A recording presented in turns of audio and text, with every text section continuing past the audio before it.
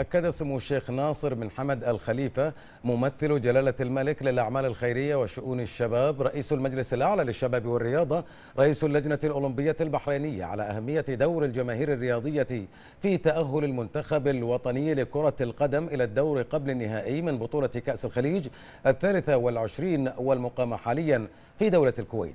مشيرا إلى أن حرص الجماهير البحرينية على حضور المباراة ومؤازرة المنتخب شكل مصدر قوة للاعبين وشد من أزرهم في سبيل تخطي دور المجموعات والتأهل إلى الدور قبل النهائي.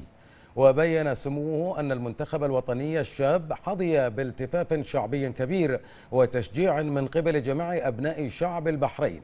وأعرب سموه عن ثقته بأن المباراة المقبلة للمنتخب ستشهد التفافا شعبيا مشابها بحضور جماهيري قوي للوقوف إلى جانب المنتخب في مهمته بكأس الخليج.